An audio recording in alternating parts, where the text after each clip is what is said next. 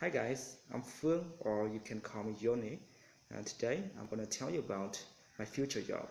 So as I'm sure you've already known that everyone in this world is always aspire to have a good job, a well-paid job in order to make a lucrative income and eventually have a better life.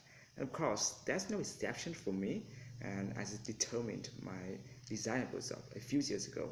So at that time I was watching TV and while I was flipping through the channels, I came across a gymnastic TV show and I was basically blown away because of their perfect bodies. So I decided to work out immediately.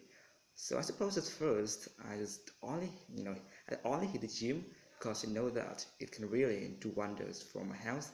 I mean, it can help me to keep fit, to get lean, or just to increase my metabolism by burning calories, I believe but you know I realized that I just have a knack for bodybuilding so I set my heart on being a gym coach.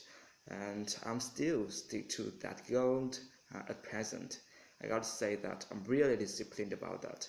I mean on daily basis I hit the gym in order to uh, it down and pump the irons. And besides workout um, I mean I also go on a diet. Uh, it means that I always need to uh, abstain from junk food, it's like chocolate or snacks, and consume more whole food, organic food.